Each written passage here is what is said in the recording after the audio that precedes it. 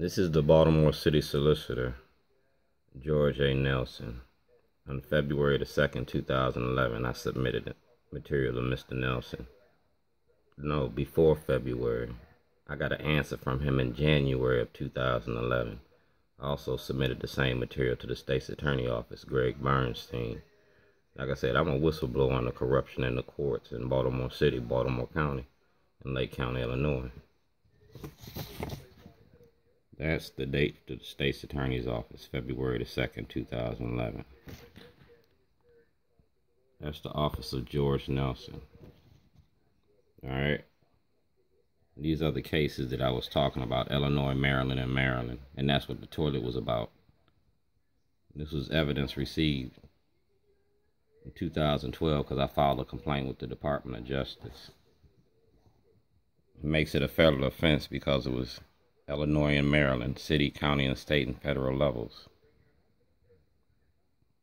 Like I said, it was about the prison industry. All right. Also, the Baltimore City Police Department got this information.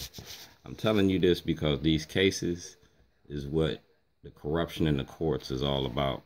And I exposed the corruption in the court by using these cases. The same way that they did Operation Greylord in 2000 in 1986 is what I did here in Baltimore. And I just did it on Facebook, YouTube, and Twitter. I used social media to do it. Brian Baith was my witness. I've been down to Annapolis, and y'all seen the videos that I've been doing since I started this.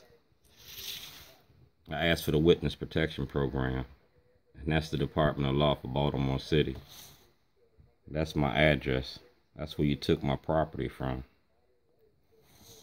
And like I said, these is the cases in the federal violations. So make sure the Department of Justice and everybody on the same page.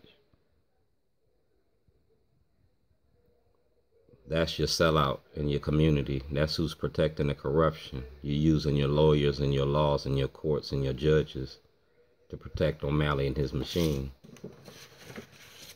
And it just don't work like that. I use Facebook because I told O'Malley when I started this, he's responsible for this. Stop and frisk, mass incarceration, the corruption, the inner harbor, all that money. And she been helping him. So, you got to deal with it. I blew the whistle. If I can go to jail, you can go to jail too.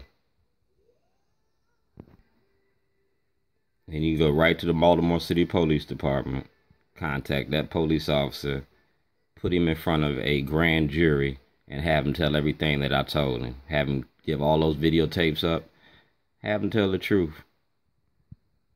Y'all ain't above the law. Just like Chicago, they sent them judges and lawyers to jail. Y'all can go to jail just like Blagojevich went to jail. You can go to like Kilpatrick went to jail. Political corruption is going to have to stop.